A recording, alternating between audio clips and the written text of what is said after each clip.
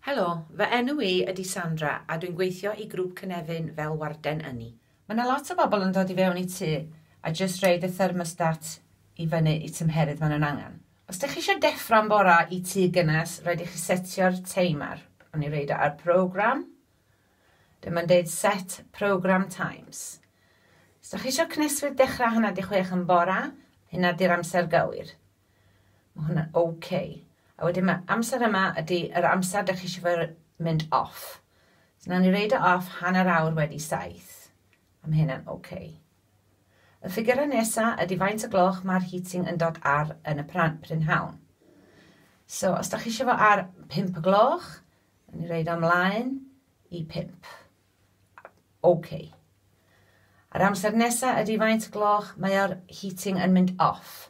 So, na ni reid o off chydig mwy gynnar na hynna y minus button at 8 o gloch a OK hwnna.